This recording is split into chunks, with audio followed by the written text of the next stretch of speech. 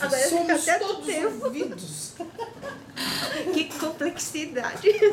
Vamos continuar. Não, eu queria ouvir assim com calma, porque o assunto que você vai abordar é bastante complexo. Para mim, que sou uma leiga no assunto, Não, eu, É eu fiz de uma forma que é para todo mundo poder entender. Porque eu não vou poder entrar na parte assim detalhado, né? De como fazer essa parte. Mas e sim, como que. Então eu comecei a desenhar projeto e cresci. O projeto cresceu.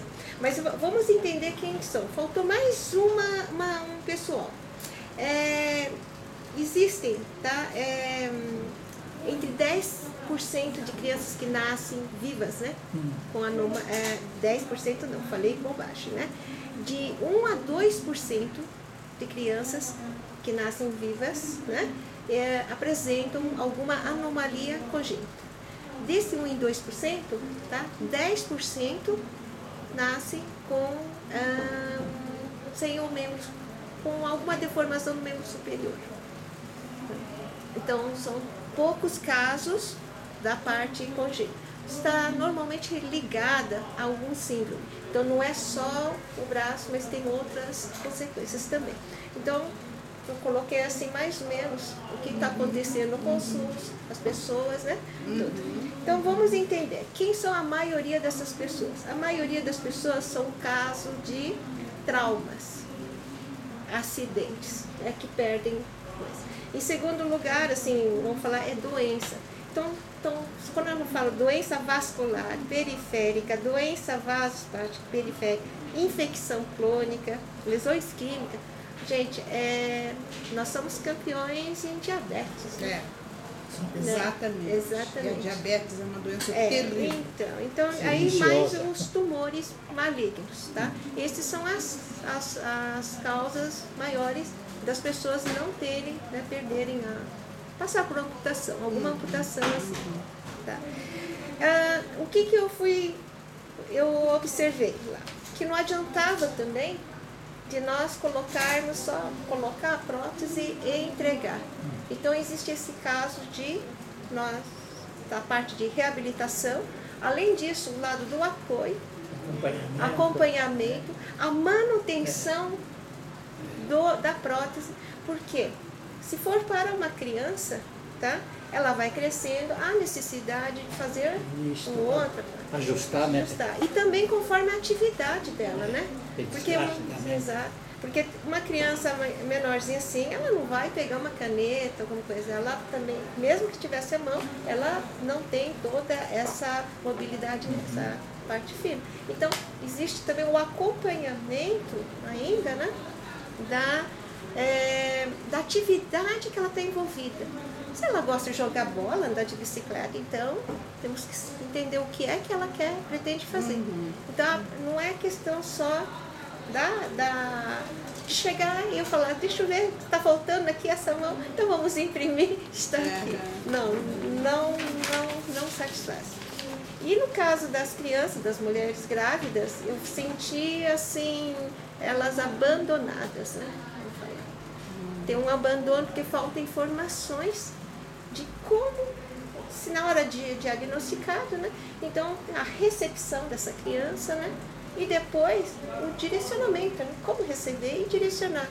Isso não é caso perdido, né? Certo? Então falta também esse acolhimento desse pessoal. Então, além disso, então uma criança, um adulto que começa a utilizar uma prótese dessa, precisa entender para, pelos professores mesmo que não é porque tem a prótese que vai conseguir fazer tudo. Existe uma limitação também. Então, há necessidade de informações a, aos profissionais que, vai, que estão envolvidos. Interagir, né? Pois, então. compreendendo. Exatamente. Então, ficou assim, olha. Nós temos a parte do projeto de elaboração da prótese, que eu desenhei assim, desenho, tá? Nós temos depois a pós-elaboração, porque é todo o acompanhamento, tá?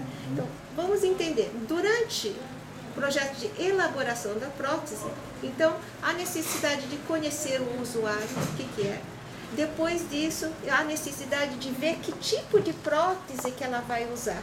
Gente, é, ter é, a falta de dedo, ou é, parte da mão, a mão, ou cotovelo, isso tudo é membro superior. Então nós temos que analisar né? quem anali- a- anali- a- faz essa análise, né? E co- como poderia ser. Então são profissionais de outra área. A outra, sim, parametrizar. A ONG lá americana, a INAD, ela realmente fornece os projetos, mas ela mostra só a estrutura, podemos utilizar, mas há necessidade de escolher qual prótese e colocar no tamanho coerente pessoa, que da cada pessoa é uma pessoa. Exatamente. É. Cada pessoa tem um, tem um formato, um tamanho. tamanho. É, tudo então há um estudo tá, de escolher a prótese e depois é, fazer uma cópia, né? Uma, alguma coisa assim. Eles, eles só medem e parametrizam. Eu conversando com o engenheiro, ele falou assim, nossa, é muito precário, né? Poderia assim, escanear, né? Um aparelho que escaneasse todinha, né? Sim, e realmente pudesse colocar as medidas mais coerentes, né? Sim. Chegando mais próximo, né? Sim. Da necessidade deles, né? Então, e existe aqui a própria confecção, tá?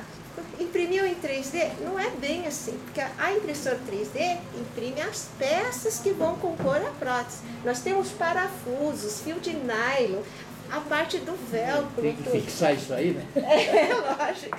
Nós temos toda a montagem. É. Então, não é questão só de Toda a peça, né? não. Só de imprimir não vai resolver. É. Então, vê, já entrei com um scanner, já entrei com a peça e agora falta a montagem. Então, a necessidade de uma capacitação daqueles que é, vão estar envolvidos nisso. Não, não, não Qual basta. é o material? Assim?